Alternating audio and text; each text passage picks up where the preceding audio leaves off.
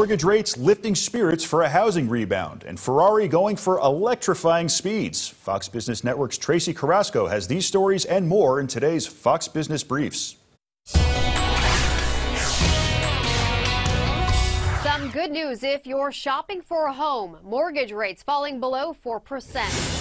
The average rate on a 30-year fixed-rate mortgage now at 3.99%, according to Freddie Mac. That's nearly a full percentage point lower from the November high.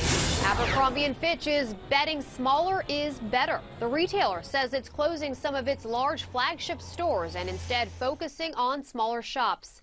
It plans to renovate some of its existing locations to keep customers coming back amid the rise of e-commerce. Introducing its first hybrid, the SF90. The car's V8 engine combined with electric motors give it 986 horsepower, making it the most powerful street-legal Ferrari ever made with a top speed of 211 miles per hour. No word on how much it will cost, though deliveries are expected to start early next year. For more, log on to foxbusiness.com. In New York, I'm Tracee Carrasco.